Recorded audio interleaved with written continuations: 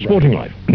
if you ever walk past Goodison or hear the Anfield roar, you can listen to them shouting. You may even get the score. The crowds are bright and breezy, and they just love to watch the game. But just up the road at Wigan, the nose, things aren't always quite the same. There are times when all is silent, not a murmur to be heard. Though the players try their hardest, you won't hear a single word.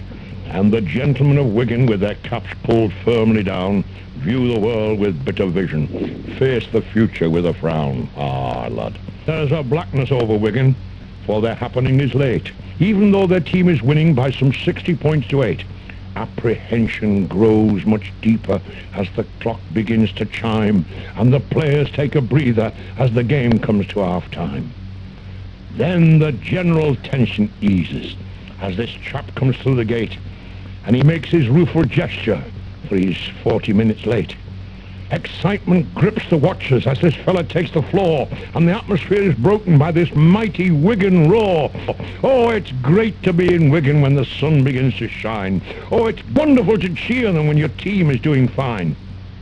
And it's grand to share a ciggy or a bottle with your chum.